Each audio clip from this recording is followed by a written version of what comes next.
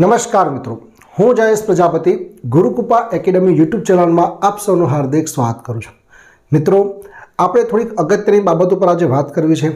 કાલે ધોરણ દસનું basic ગણિતનું paper છે ત્યારે અમુક અમુક બાબતનું ધ્યાન રાખવું ખાસ જરૂરી છે. તો પહેલી જ વાત છે મિત્રો કે પેપર કેવી રીતે લખવું? તો મિત્રો તમે જુઓ એક સામાન્ય તમને પેટર્ન સમજાવી દઉં છું કે પેપર લખવાની તમે શરૂઆત કરો. બરાબર છે? તો પહેલાં શું કરવાનું છે?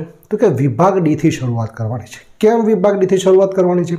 કારણ કે મિત્રો તમને ખબર છે કે પ્રમેય અને રચના અમુક વસ્તુ એવી છે કે જે ફિક્સ છે અને તમને પરફેક્ટલી આવડતી હશે. તમે પ્રમેય લખી દો, રચના લખી દો. બરાબર છે? અને જો તમે આંકડાશાસ્ત્રના દાખલા કર્યા હશે, તો ચાર ચાર ગુણના બે દાખલા આંકડાશાસ્ત્રની અંદર પૂછાશે. એટલે મિત્રો તમે જોશો, તો તમને ખ્યાલ આવશે કે પ્રમેયના ચાર માર્ક્સ રચનાના ચાર માર્ક્સ અને આંકડાશાસ્ત્રના બે દાખલા, એટલે આઠ માર્ક્સ એટલે અહીંથી તમારા ટોટલી સોળ માર્ક્સ તો કવર થઈ જશે. બરાબર?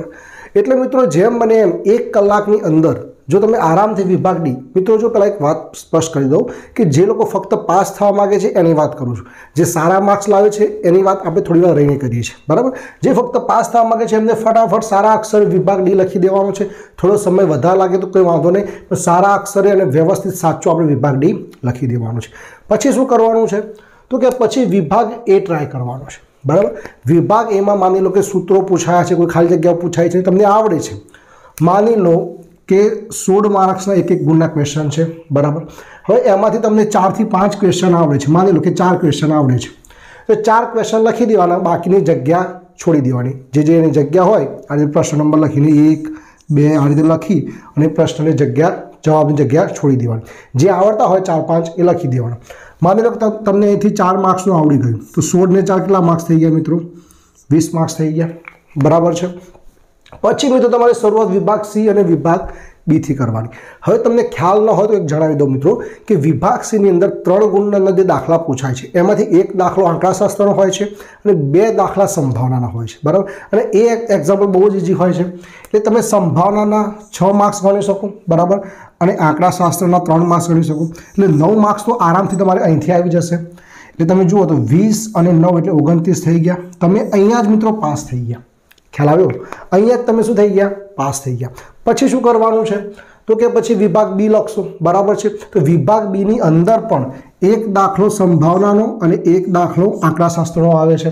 તો બે ને બે ચાર માર્ક્સ એ થઈ ગયા. તો પાછા ચાર માર્ક્સ અહીંથી પ્લસ કરી દો. નવ ને ચાર, તેર વધી એક, બે ને બે, ત્રણ. તેત્રીસ માર્ક્સ થઈ ગયા. ખ્યાલ આવ્યો? તો આવી રીતે જે વિદ્યાર્થીઓએ મારા કહ્યા પ્રમાણે આંકડાશાસ્ત્ર રચના, પ્રમેય અને સંભાવના કર્યા છે, એ આવી રીતે લખશે પેપર તો આરામથી પાસ થઈ જશે. એટલે તમારે શું કરવાનું છે? પહેલાં વિભાગ ડીમાંથી જેટલું આવડે એ લખી દેવાનું છે, સારા અક્ષરે. પછી વિભાગ એમાંથી જેટલું આવડે એટલું લખી દેવાનું છે. પછી મિત્રો વિભાગ સીમાં જે જે આવડે સારા અક્ષરે લખી દેવાનું છે અને પછી વિભાગ બી ટ્રાય કરવાનું છે. બરાબર? વિભાગ બીમાં ઘણા એવા દાખલા હશે મિત્રો જે એકદમ ઇઝી હશે અને તમે સારામાં સારી રીતે લખી પણ શકશો. તો આ પેટર્નથી તમારે પેપર લખવાનું છે.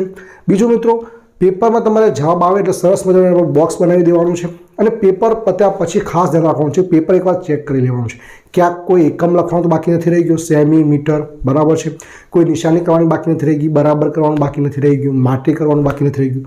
આ બધું તમારે ખાસ ધ્યાન રાખવાનું છે. રચના વ્યવસ્થિત, સુવ્યવસ્થિત દોરવાની, બરાબર, બહુ ડાઘાડાઘી કરવાની નહીં. રચનાની અંદર કોઈ પણ આકૃતિ દોરો તો આમ સ્વચ્છ લાગવી જોઈએ. એનું જે નામ નિર્દેશ કરો, જે માપ લખવાનો હોય, એ સારા અક્ષરે વ્યવસ્થિત લખવાના. આ બધી તમારે ખાસ ધ્યાન રાખવાનું છે. બીજી વસ્તુ કે દાખલા ન આવડે તો શું કરો માની લો કે તમે આ પ્રમાણે વ્યવસ્થિત તેત્રીસ માર્ક્સનું લખી દીધું અને વચ્ચે વચ્ચે જે એક્ઝામ્પલ નહોતા આવડ્યા, એના તમે જગ્યા પણ છોડી દીધી. પણ પછી શું કરવું બરાબર? માની લો કે હવે છેલ્લે એક કલાક જેવું બચ્યું છે, તમારે આટલું સરસ મજાનું લખાઈ ગયું. હવે શું કરવાનું મિત્રો? તો હવે મિત્રો તમારે શું કરવાનું છે? દાખલા ન આવડે. તો માની લો કે કોઈ સમાંતર શ્રેણીનો દાખલો છે હવે તમને આવડતો નથી. બરાબર? અને તમને પૂછ્યું છે કે એનનું પદ શોધો. તો શું કરવાનું? ખાલી એનમાં પદનું સૂત્ર અંદર લખી દેવાનું. બરાબર છે? હવે કોઈ માહિતી આપેલું છે કે ભાઈ પ્રથમ પદ આપેલું છે, સામાન્ય તફાવત આપેલું છે, તો પ્રથમ પદ એ બરાબર કરીને કિંમત લખી દેવી, સામાન્ય તફાવત લખીને એટલે કે જે માહિતી આપી છે એ લખી દેવી અને સૂત્ર લખી દેવાનું. બરાબર? તમને સમાન શ્રેણીમાં કીધું હોય કે એન પદોનો સરવાળો શોધો, તો એન પદોના સરવાળાનું સૂત્ર લખી દેવાનું.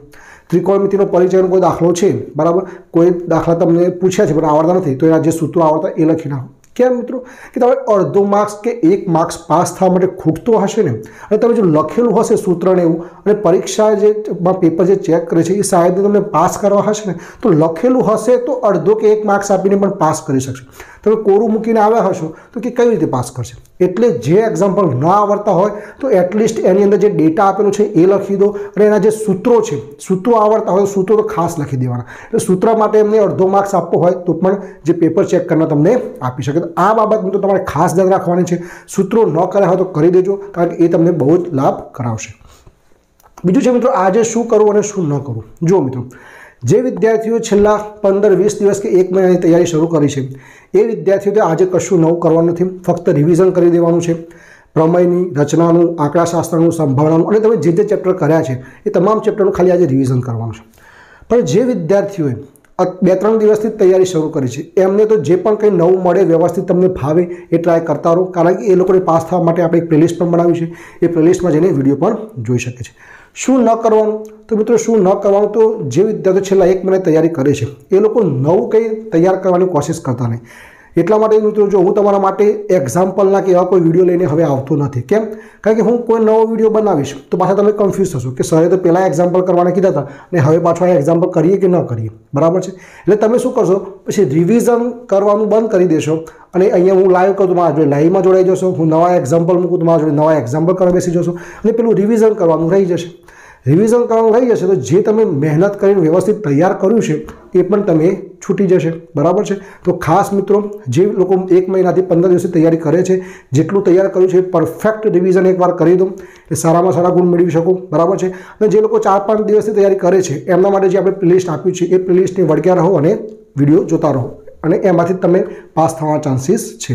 બીજી એક વાત મિત્રો જુઓ, તમારે કોઈ પણ ચેપ્ટર રિવિઝન કરવું હોય તો એકથી પંદરે પંદર ચેપ્ટરના આપણે પ્લેલિસ્ટ બનાવ્યા છે. એની લિંક ડિસ્ક્રિપ્શનની અંદર હશે. કોઈ વ્યક્તિ વિભાગ વાઇઝ તૈયારી કરતું હોય, તો વિભાગ એ, વિભાગ બી, વિભાગ સી અને વિભાગ ડી એના તમામના પ્લેલિસ્ટ આપણે બનાવેલા છે. તો એના પણ લિંક ડિસ્ક્રિપ્શનની અંદર છે. ખૂટતી આવતીના દાખલા ચાર માર્ક્સના બહુ પૂછાય છે. તો એનું એક અલગ પ્લેલિસ્ટ બનાવ્યું છે.